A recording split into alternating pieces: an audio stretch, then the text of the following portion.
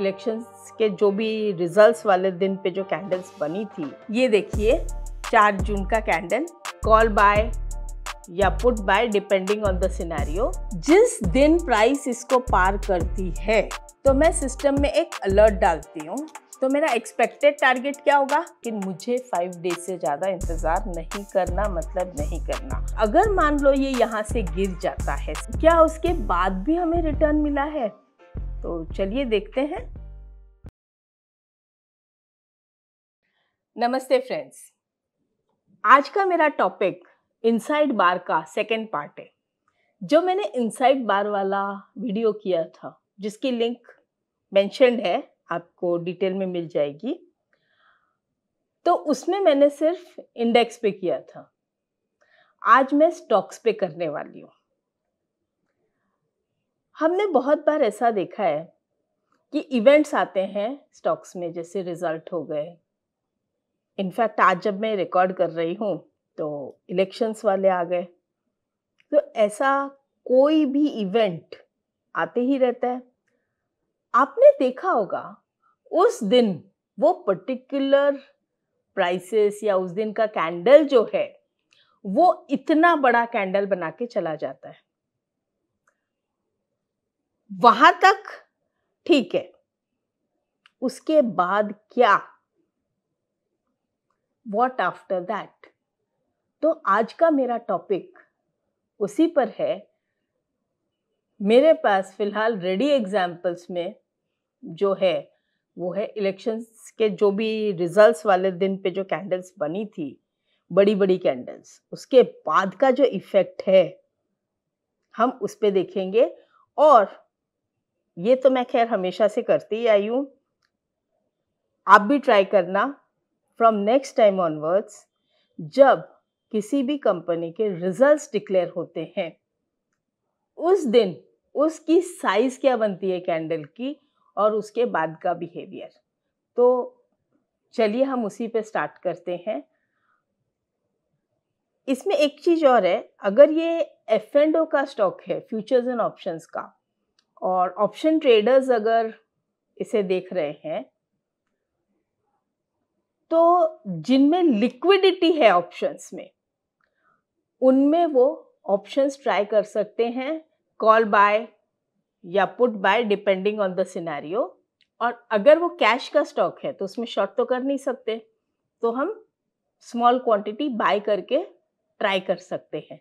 जैसे जैसे आपको सक्सेस मिलती है फिर क्वांटिटी बढ़ाइए, लेकिन जब स्टार्ट करते हैं तो कोशिश करिए एक या दो शेयर की ही क्वांटिटी से स्टार्ट करें। रिस्क मैनेजमेंट बहुत ज़रूरी है।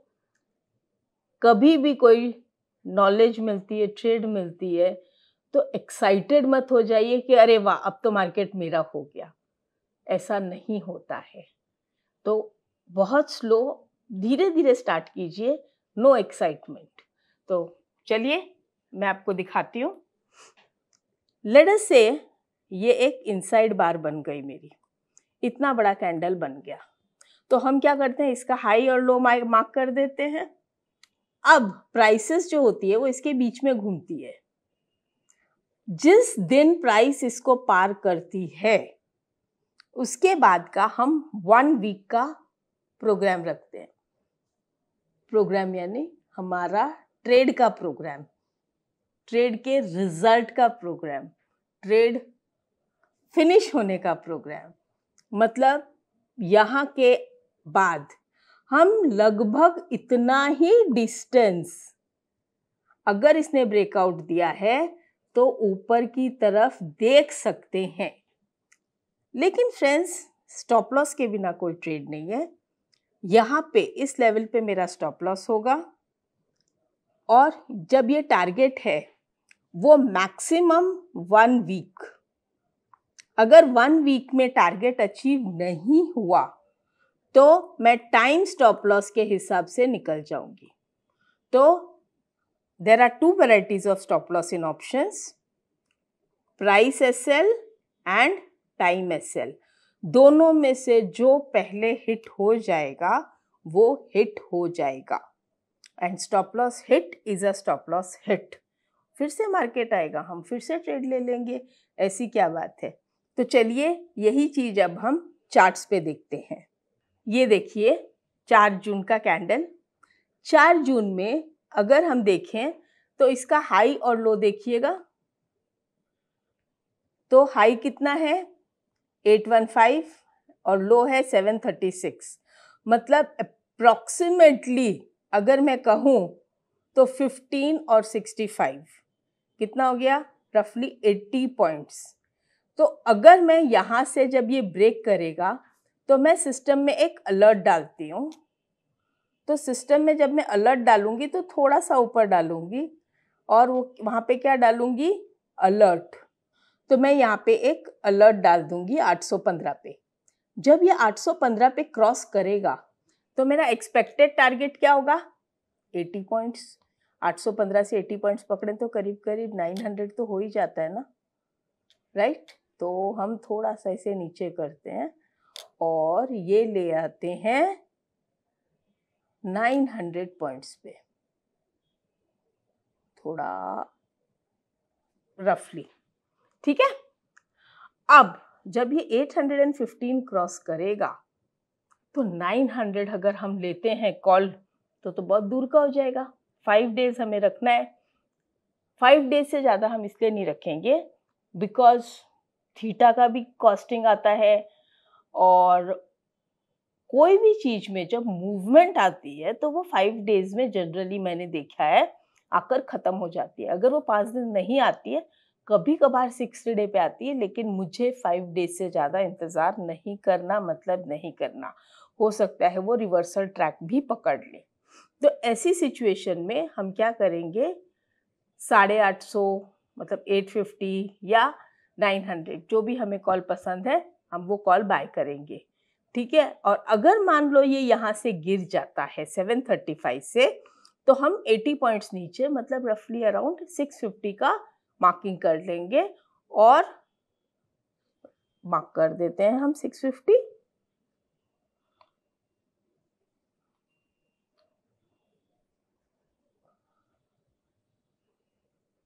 सिक्स सिक्सटी, करीब करीब हमने मार्क कर दिया। तो अब ये जिस साइड भी ब्रेक करेगा, वो साइड का हम अगर कॉल या पुट लेंगे मतलब अगर ऊपर की तरफ़ इसने ब्रेक किया तो हम कॉल ले लेंगे, नीचे की तरफ़ ब्रेक किया तो पुट ले लेंगे। ठीक है?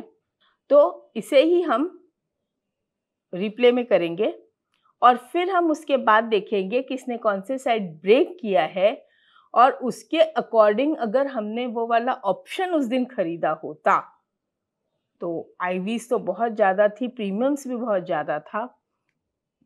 क्या उसके बाद भी हमें रिटर्न मिला है? तो चलिए देखते हैं।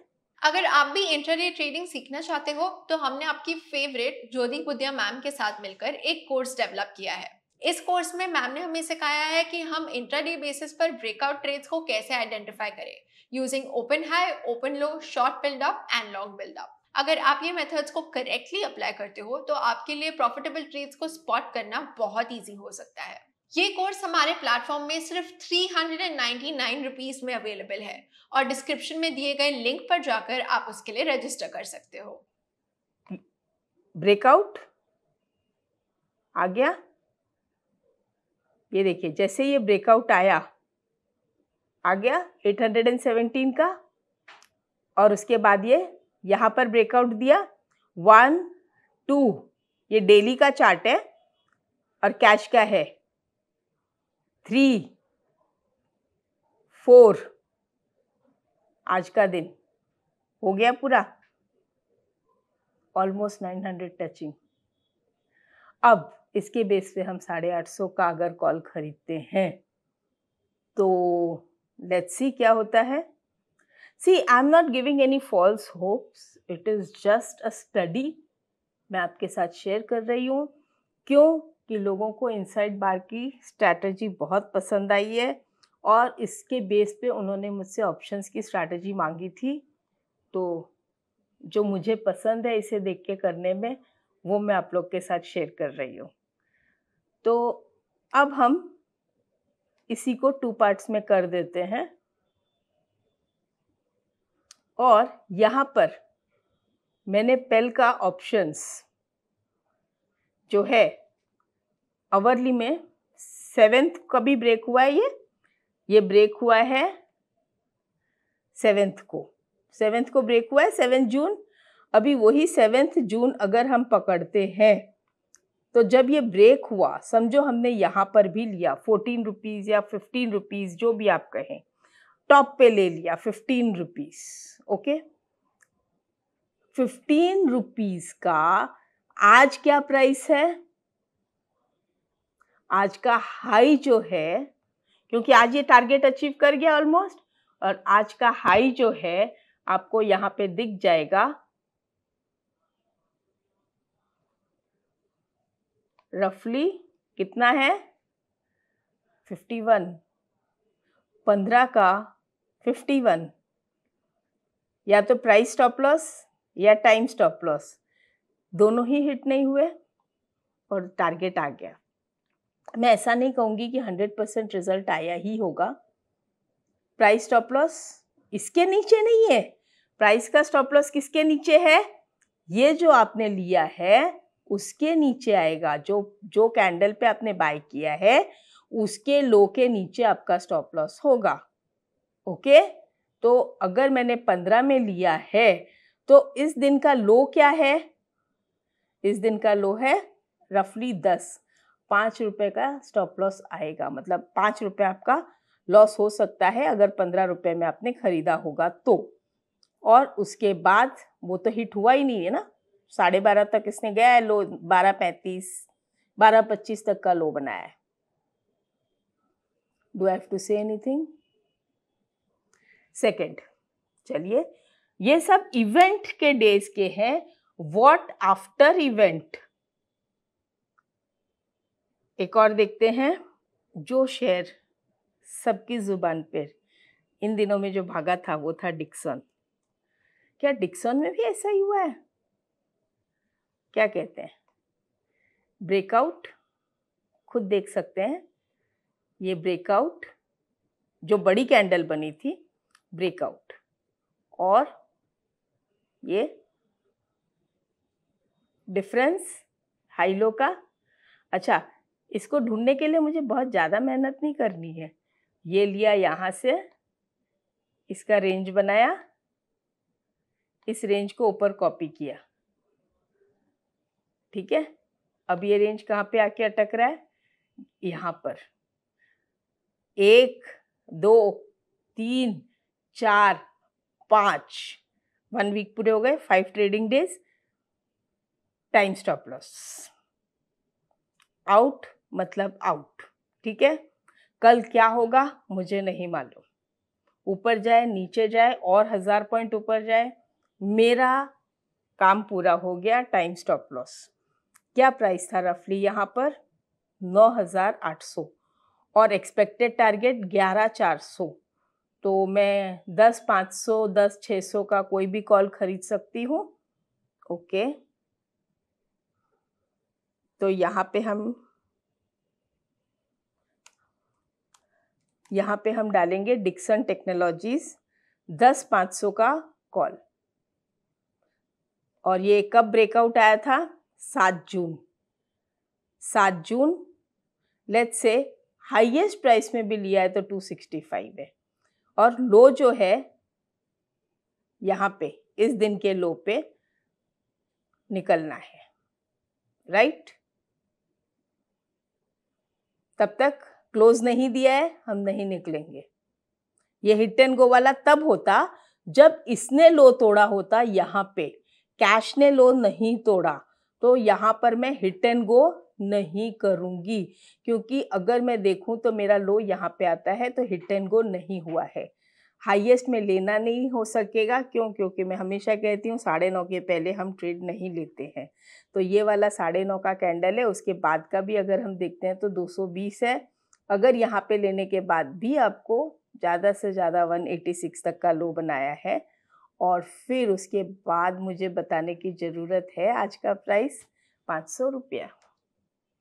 दैट्स ऑल ये मौके रोज़ नहीं आते। इसे आप भी टेस्ट करना और आपको बताऊँ, काफ़ी स्टॉक्स में आ चुके हैं। रेडी के लिए लेट्स सी, आप ट्राई करना, स्टॉप लॉस या टारगेट जो भी होगा। तो अब आज देखिए, किसने ब्रेकआउट दिया है? सीमेंस ने। क्या टारगेट एक्सपेक्ट कर सकती हूँ मैं? ब्रेकआउट दिया है। तो ये वाला टारगेट यहाँ से लेके यहाँ तक। फ्रेंड्स मुझे ये नहीं पता कि इसको एडिट होके आपके पास आने में कितना टाइम लगेगा और आप इसे कब देखोगे? मुझे कोई आइडिया नहीं है, लेकिन ये मैं इस पर चला रही हूँ। मैं ये नहीं जानती स्टॉप लॉस हिट होगा कि टारगेट अचीव होगा। जो भी होगा आई स्टॉप लॉस यहाँ पर रहेगा और क्लोज में तो लेके जाना ही था। यहाँ पे एस एल हिट हो जाएगा। फाइव डेज़ मतलब फाइव ट्रेडिंग डेज़ में टारगेट या एग्जिट तो मैं इसी पॉलिसी पे चलती हूँ।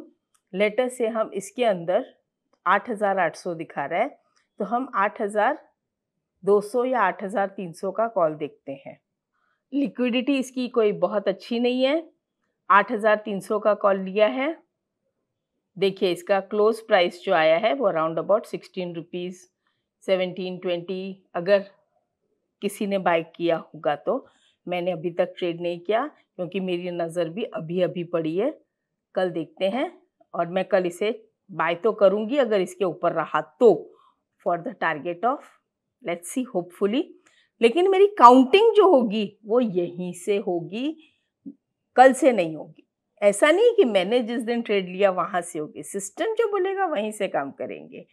तो देखते हैं कल मुझे ये ट्रेड कितने में हाथ आता है, उसके ऊपर हम आगे का, आप लोग के पास रहेगा वीडियो। मुझे बताइएगा कहाँ तक गया एस एल हिट हुआ है कि टारगेट हुआ है। ये दो एग्ज़ाम्पल मैंने दिए, एक मैंने एडवांस में दिया है कि कल क्या हो सकता है, क्या प्रोबेबिलिटी है।